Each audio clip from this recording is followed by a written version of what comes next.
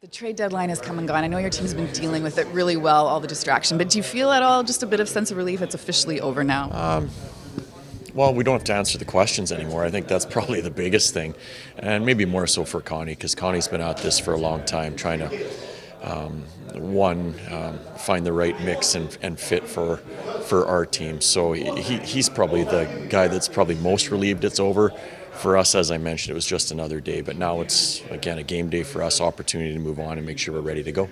You have a new defenseman. You saw him in the flesh yesterday. What do you think about him? What do you think he can bring to your back end? Well, we're, we're hopeful that he can, one, add a little offense for us on the power play. I know that's one of the strengths that he does have. Uh, the one thing that I was a little bit surprised at, we knew he was a bigger guy, but he's he seems much bigger than he's actually listed. So, um, you know, it's it'll be a little bit of a learning curve for us, the same as it is with Hanley, same as it was with Pachal.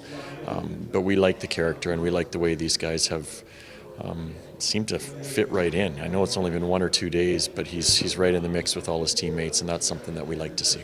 You seem to have a lot of guys that have come on that are just like super excited and giddy and happy to be here. Do you see it, some of that character in these new guys? Uh, you do, um, and I, I, think a lot of it is guys want the opportunity, um, and I think they see it. So this is, I, I think the way they would look at it is if I put my best foot forward. Um, this might be my chance to prove that I'm a full-time NHL defenseman or forward or whatever that may be. So uh, a lot of times that's what players want is that opportunity, and, and these guys are going to get it. So now it'll be up to them.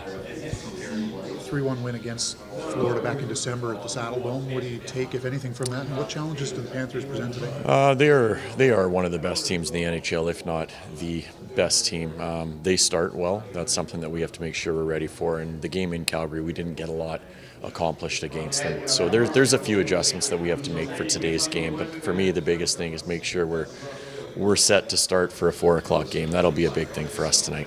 What can you speak to Matt Coronato's kind of strength on the puck? We mm-hmm. saw a couple of plays he made the other night that mm-hmm. led to some goals where he was strong along the wall and confident along the wall. I mean, are you seeing a bit of a growth there from him? Yeah, absolutely. Um, that's one thing that um, we saw in exhibition a lot from him, where he was a, a bit of a dog on a bone when it came to finding that loose puck uh, it went away a little bit, and I think over time with the Wranglers, he's he's learned to work on that or make sure that he's made it priority again.